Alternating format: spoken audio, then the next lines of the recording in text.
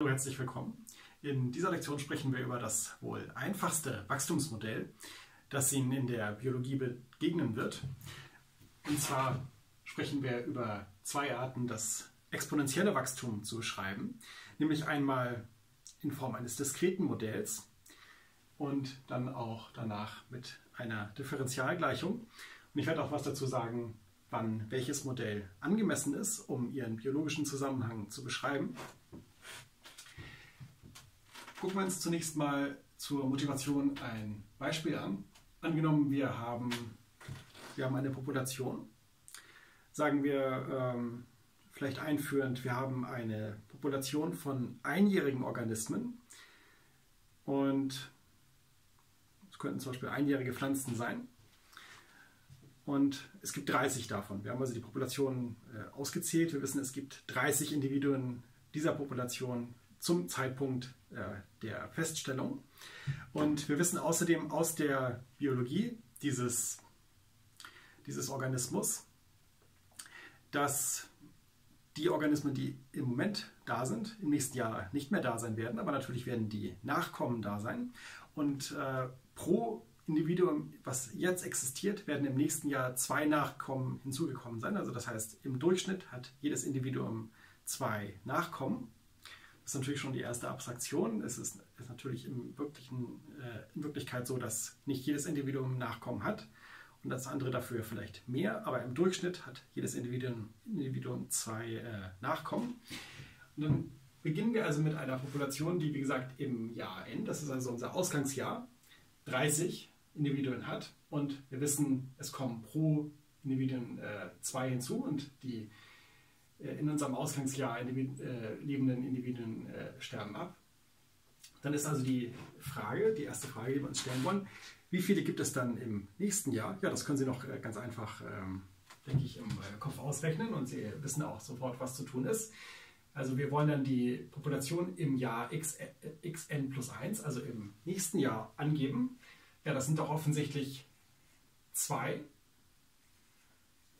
mal 30 weil wir für jedes Individuum, Individuum äh, zwei Nachkommen haben und das Individuum, das diese Nachkommen hat, stirbt. Also haben wir im nächsten Jahr 2 mal 30, also 60. Und wenn wir jetzt äh, noch weiter äh, rechnen wollten, könnten wir auch das, das Jahr xn plus 2 ausrechnen. Würden wir also wieder ausrechnen äh, 2 mal unseren Ausgangsbestand. Dann hätten wir also 2 mal 60, dann hätten wir also im, äh, im äh, dritten Jahr unserer Betrachtung 120 Individuen. Und ich denke, äh, der Ansatz ist klar. Schauen wir uns das Ganze mal in einer äh, in Form, in Form einer Gleichung an.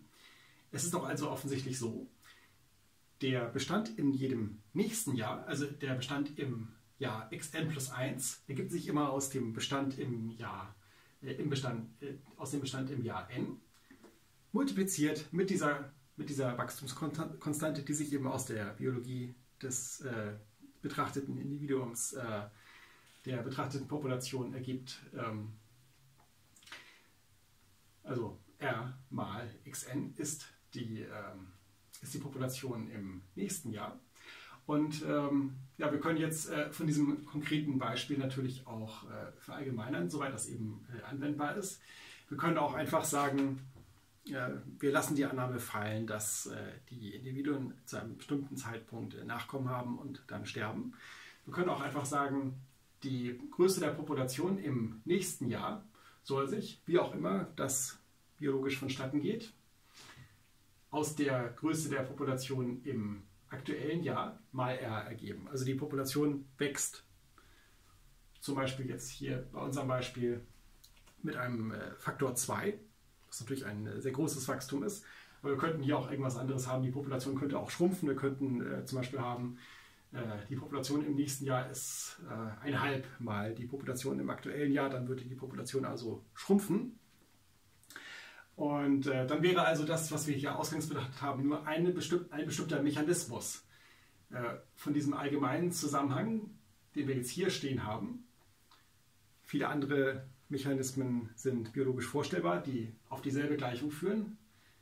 Wichtig ist also, dass wir diesen Zusammenhang haben, dass die Population im nächsten Jahr r mal die Population in diesem Jahr ist.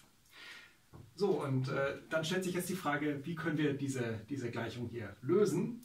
Zunächst mal, was heißt lösen? Lösen heißt, wir starten in einem Ausgangsjahr und wir interessieren uns für ein beliebiges, weit entferntes Jahr.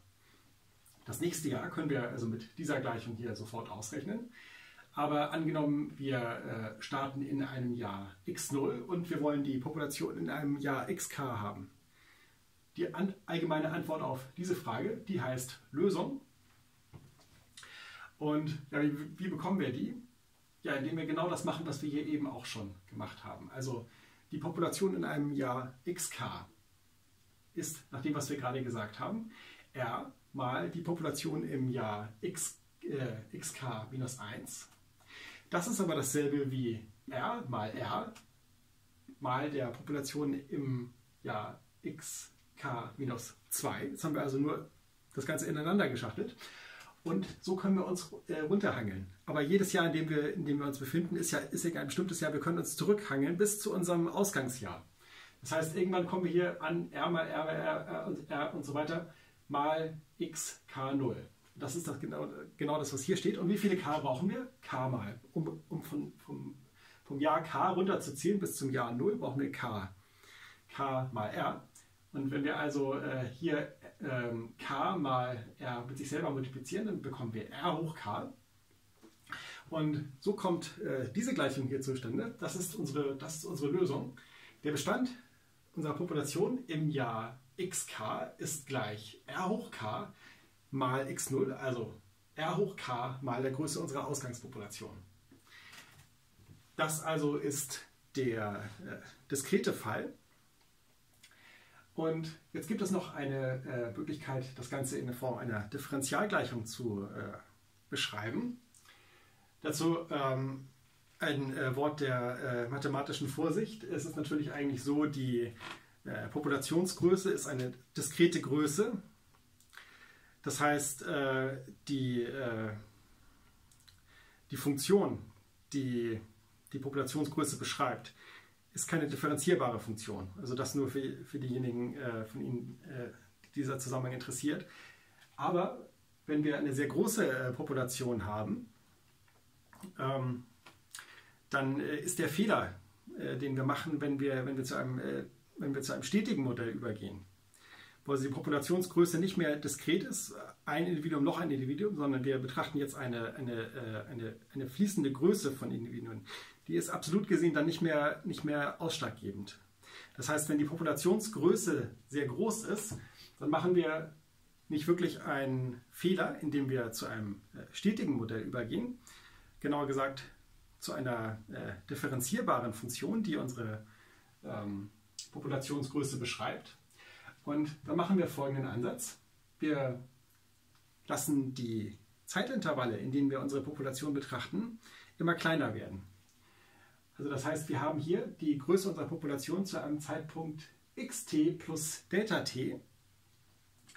Und hier haben wir die Populationsgröße zu einem Zeitpunkt xt. Und wir teilen das Ganze durch Delta t und was bekommen wir da jetzt? Wir bekommen jetzt eine, äh, eine Wachstumsrate. Das ist äh, die Population zum späteren Zeitpunkt, zum früheren Zeitpunkt und das ist die Zeit, die verstrichen ist. Wenn wir, wenn wir also die Differenz dieser beiden Populationsgrößen durch die verstrichene Zeit teilen, dann bekommen wir eine Wachstumsrate. Und wenn wir dann die Zeit sehr klein werden lassen, also den Limes Delta t gegen 0 laufen lassen, dann bekommen wir die sogenannte momentane äh, Wachstumsrate. Oder äh, mit anderen Worten, wir bekommen aus diesen Differenzenquotienten die Ableitung.